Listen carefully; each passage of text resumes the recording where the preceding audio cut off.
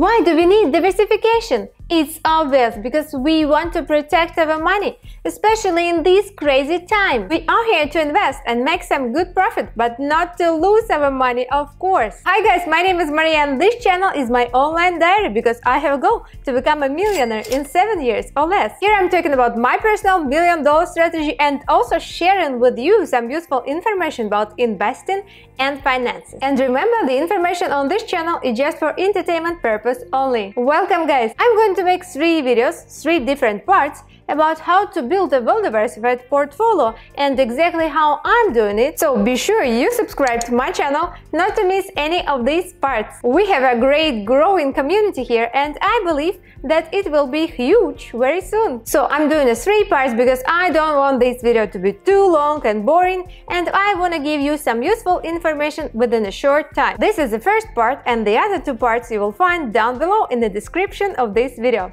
Let's start guys. Rule number one never lose money. Rule number two, never forget rule number one. Today I'll show you my version of diversifying my portfolio and investing across many countries. And that's one more reason why I love investing in the stock market because you can put your money in a different business all over the world. But there are billions of companies, how could we pick the right ones? And the easiest way here is to buy different kinds of ETFs, exchange-traded funds which combine the best attributes of assets. Let's see some ETFs which combines the top companies of different countries for our well-diversified portfolio. For example, for my diversification, I'm choosing such countries and parts of the world as USA, China, India, and Europe. Why did I choose exactly these countries? Let's see. Well, first of all, the USA, is the world's largest economy since 1871. So let's pick some great ETFs of the USA first. I'll pick two of them and the first will be, of course,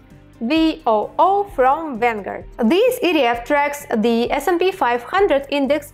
It's one of the most famous benchmarks in the world that tracks some of America's largest companies, which are usually known as blue chips and are some of the most famous and profitable companies in the country. Here you can see the top 10 holdings of this great ETF and we can see such companies as Apple, Microsoft, Amazon, Facebook, Alphabet, and the other great companies just in one share. Also, I'll pick VTI. This ETF offers broad exposure of the US equity market, investing in thousands of different securities across all these sectors. That makes VTI an expanding option for investors looking to simply their portfolios and minimize rebalancing obligations. And this fund can serve as a core holding of a long-term portfolio. The US economy followed closely by China. That's why I'm choosing China too for my diversification. China has extended exponential growth over the past few decades. So for my portfolio, I'm choosing CHIQ. CHIQ is an ETF that tracks the Solactive China Consumer Index Index, which is designed to reflect the performance of China's consumer sector, including companies that are either domiciled in China or have their main business operations in China. This ETF is focused on the large and mid-cap equities in the consumer discretionary sector of the Chinese economy. It follows a blended strategy of investing in a mix of value and growth stocks. And look at this, it has year-to-date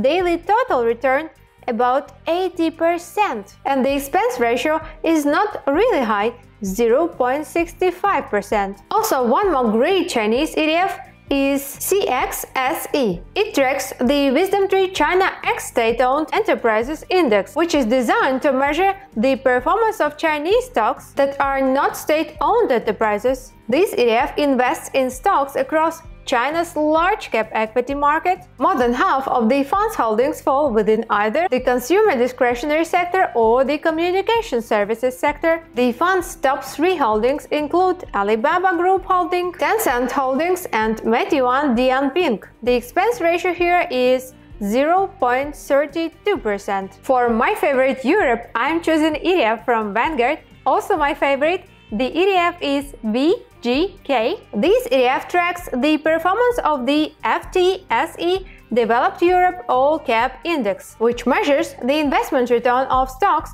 issued by companies located in the major markets of Europe. This ETF holds stocks of companies located in Austria, Belgium, Denmark, Finland, France, Germany, Greece, Ireland, Italy, and the Netherlands. Also Norway, Portugal, Spain, Sweden, Switzerland and the United Kingdom. You know, my favorite countries from all the Europe are actually Germany and France. Germany because it has a strong economy and even during these hard times we could see a V recovery which is quite good. And France, because I just love French cheese and wine. No, just kidding. By 2019, the economy of France was the seventh largest economy of the world and the second largest economy in the European Union. But I couldn't pick the area for just two countries, that's why I picked the area for the whole Europe. Let's see what's inside. So the expense ratio is quite low, 0.08%, and the year-to-date return is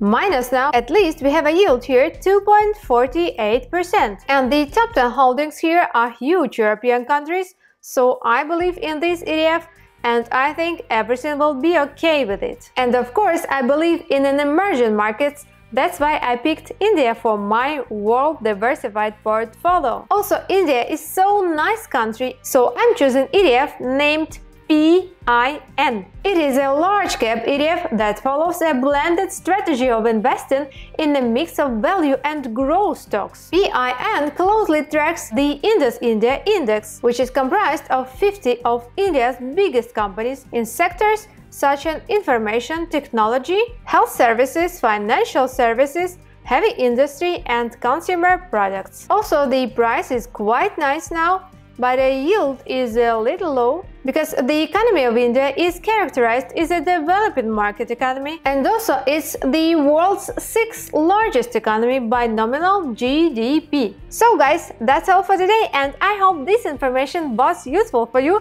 Sorry for my Russian accent and if you wanna join me in my million dollar journey, please don't forget to subscribe and also hit that like button to support my channel. Thank you guys and see you in the next videos. Bye!